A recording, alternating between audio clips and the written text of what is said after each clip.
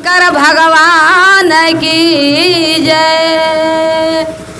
तो एक गाँव में ब्राह्मण हलन, तब एक अपने मांझी भाई के घर में नौकर रख ले हलन और उनका साथे बहुत प्रेम रखा हलन।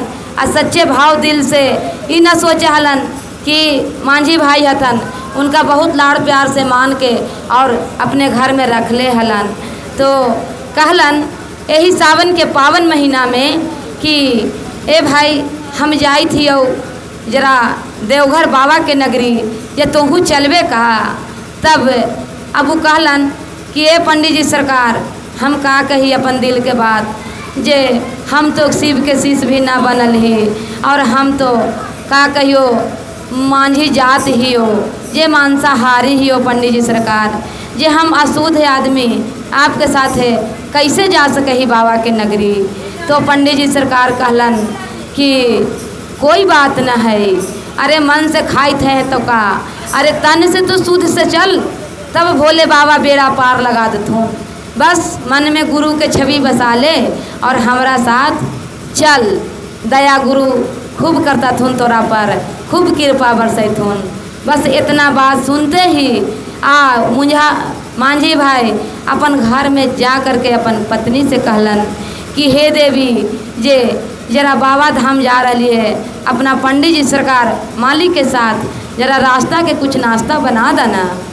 बस उनकर पत्नी इतना सुनते ही जो भी घर में उनकर खाजी बना हल भोजन बना हल वो बना करके और अपना टिफ़िन में अपने पति देव के लिए तैयार कर दिलन और उनकर घर में जो शराब वाला काम होवा हलै, जे, जिससे में दारू रुके, अपना काम करा लन, ओहू वाला तैयार करके दे दिलन। काहे कि उनकर पति, उनका बिना रह न बिना पीले तो अपना देखलन कि पति हमर जा रहलन है, और सुना हलन कि बाबा धाम पैदल जाए पर है, बहुत दूर जाए पर है। तो खा पी के बरियार से जैतन। तो जो भी मुर्गा मीठ हलक बनल घर में, और एक पोलोथीन शराब दे दिलन। और झोला में दे के कहलन कि जा, गुरु के दया खूब मांगी है, हमरो ला मांगी है, तू अपनो ला मांगी है। अपना घर से बहरा गलन। पंडित जी के कहलन कि सरकार हम तैयार ही तो चलथिन? वही पंडित जी और रास्ते में दोनों मिलके चले गए। जब गए, सुल्तानगंज से जाल उठाए तो लगातार चलते रहे चलते रहे। पंडित जी पीछे पीछे आ रहे हैं और पंडित जी मन में सोच रहे हैं कि देखो तो हम उसको साथ लेके आए। और हमको छोड़ के भाग गया।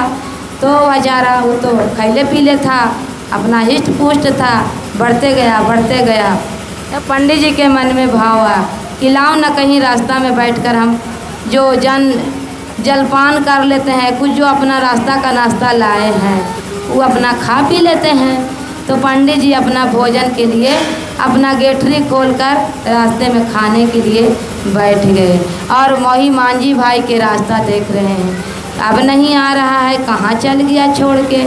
आगे आगे जाते जाते उस मांझी भाई ने कहा कि भाई, पीछे से पंडित जी सरकार नहीं आ रहे।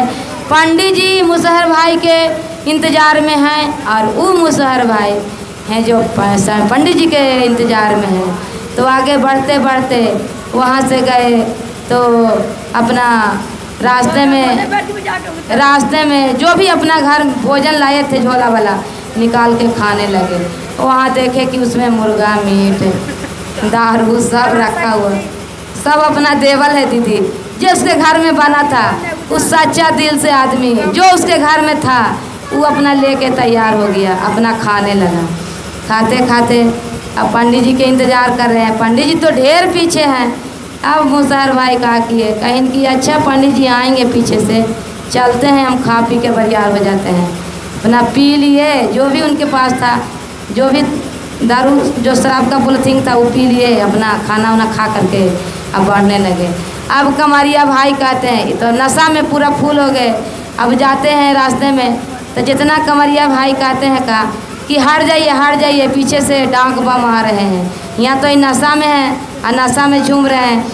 लेकिन कमरिया भाई कह रहे हैं ना कि नहीं, जे वो डांक बम आ रहे हैं, जे रास्ता क्लियर कर दीजिए। इनको दीदी चौबीस घंटा के अंदर में बाबा के दरवाजे पहुँच गए और जल चढ़ा करके बाबा का आशीर्वाद ले लिए। और पांडे जी सरकार हैं, जो अभी पीछे के पीछे हैं। हिया हुआ इंतज़ार करते करते करते करते धीरे धीरे बाबा जा रहे हैं। जाते जाते, जब तक मुसहर भाई दो नींद सो गए। आराम से सो गए, हाथ गोड़ चितरा के भला चौबीस घंटा में पहुँचे तो थकावट तो हो गया। अपना आराम से सो गए। पीछे से जब जाते हैं सरकार तो जाल उल चढ़ा के आप खोजने लगते हैं कि हमारा साथी आया जे कहाँ है। देखते हैं कि हाथ गोड़ छितरा के सो रहा है। कहे कि, है तोरा भला के अरे तोरा हम यही ला ले लियो हाल। हम तो सोची कि संगे साथी चलत, जे तू हमरा छोड़ के चल चलेला। तो कहलन कि कि का कही? सरकार, हमर घरवा में जे बनल जे पत्नी हमर दे दिल्क। तो हमरा हिया ने कने बिकती, हाल। हम सब खा पी ले लिए सरकार। तो जितना कमरियन हलथिन जे हमरा रास्ता दे देलथिन, कि डाक बम आबित हथिन जे रास्ता क्लियर कर दहूँ। बस वही सहारे हम चल एलिए अवा के जल ढार के हम वही सूतल ही बाबा। आ आप हथिन जे अब की हथिन हैं? ताकि हाँ ताकि बताओ हम शुद्ध भोजन लेके आए, जे हम अब पहुँच रहे हैं। और तू तू जो है, जो सब मांसाहारी भोजन लेके आया, जो चार घंटा, पाँच घंटा से आके यहाँ सो रहा है। तो ही बेचारा कहीं मांझी भाई, कि पंडित जी, आप कौन भाव से आए, कौन दिल से आए? आपका देरी हो गया जल चढ़ाने। में हम तो शुद्ध दिल से आए हैं तो अपने बाबा के दरवाज़ा आकर के जल चढ़ा दिए। तो पंडित जी के मन में का की दौड़ा चल रहा था दीदी, कि हम तो देवघर आए हैं, लेकिन के जजमान हमको छूट गया?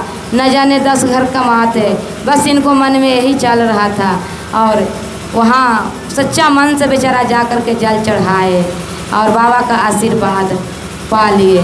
तो इसीलिए कहा गया है दीदी कि भोले बाबा के समीच बस अपने इच्छा को शुद्ध करके, अपने तन को स्वच्छ करके बस उनके सामने प्रकट हो जाइए और उनकी कुछ ज़रूरत नहीं है। इतने ने मेरे भोले भगवान खुश हो जाते हैं, मेरे दयालु गुरुदेव प्रसन्न हो जाते हैं। और तीसरा में 108 बार 24 घंटा में अपने शिव गुरु के चरणों में प्रणाम करना है। इसी वाणी के साथ अपने गुरु के चरणों में वाणी रखते हुए फिर से दया मांगती हूँ कि हे गुरुदेव, दया कीजिए, इतना दया कीजिए कि चर्चा, कथा, भजन नित दिन सुनाऊँ। प्रेम से बोलिए, शंकर भगवान की जय। मैया गौरा पार्वती की जय।